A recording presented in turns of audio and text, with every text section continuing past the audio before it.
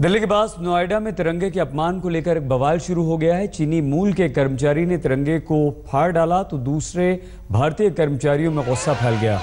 आरोपी कर्मचारी को बाहर कर दिया गया है। यही चाइनीज़ कंपनी यहाँ पर चाइनीज़ फ़ोन बनाती है। पुलिस ने स्थिति को संभालने की कोशिश की और ये कहा कि युवक के खिलाफ सख्त कार्रवाई होगी।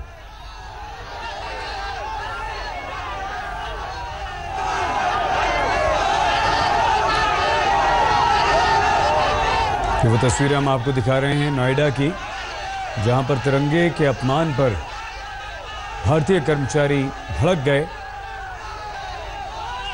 और चीनी मूल का, यानी कि चीन का रहने वाला ये युवक बताया जा रहा है।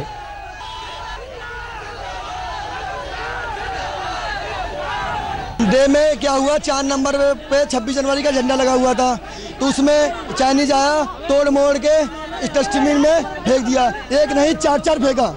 जब भी दो बंदे ने ऑब्जेक्शन उठाया कि क्यों फेंका गया तो उसे नीचे ला के रिमांड लिया गया और उसकी रिजाइन रिजाइन लिखवा लिया गई फिर हम लोग नाइट में आए तो हम लोगों ने ऑब्जर्वेशन उठाया तो बोला गया कि पुलिस के, पुलिस से डंडे डंडे लगवाएँगे और सबको रिजाइन करके कंपनी बाहर भगाओ।